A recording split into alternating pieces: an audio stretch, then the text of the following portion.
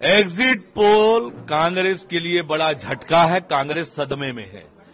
उछल उछल कर जो बड़े बड़े दावे करते थे, पचहत्तर पार पचहत्तर पार, और जो राजनीतिक पंडित ये कहा करते थे कि भाजपा लड़ाई में नहीं है, ये उनके लिए झटका है।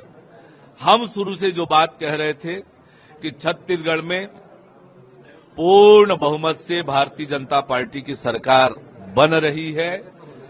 ये हमारे दावे को एग्जिट पोल ने मज़बूत किया है। कल जब मतगणना होगी तो आप देखेंगे कि पूर्ण बहुमत भारतीय जनता पार्टी को मिलेगा, भारतीय जनता पार्टी की सरकार बनेगी, छत्तीसगढ़ खुशहाली और तरक्की की ओर आगे बढ़ेगा।